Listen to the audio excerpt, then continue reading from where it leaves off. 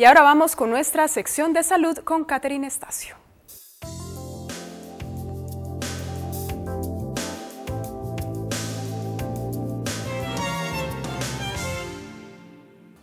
Buenas tardes y bienvenidos a Salud Hoy en 90 Minutos. Si usted es de las personas que acaba primero que los demás a la hora de comer, tenga cuidado, porque esa inconsciente práctica puede dar como resultado el aumento de peso. Cuando tú comes rápido, eh, hay un efecto neurotransmisor que es como si no hubieras comido. No hay un efecto de, de, de saciedad.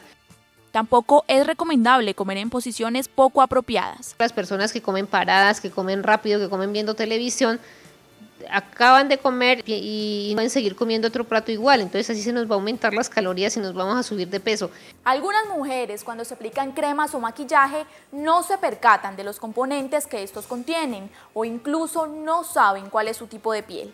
Se pueden producir daños como por ejemplo irritaciones en la piel causadas por el elemento que compone esa crema, dermatitis por contacto, dermatitis alérgica o inclusive reacciones a, a, posteriori que pueden llegar a causar pigmento oscuro o blanco en la piel.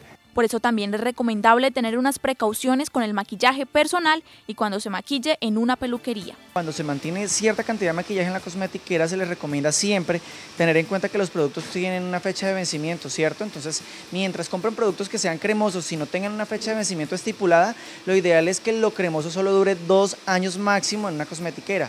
Nos vemos el próximo lunes con más consejos en Salud Hoy. Feliz tarde.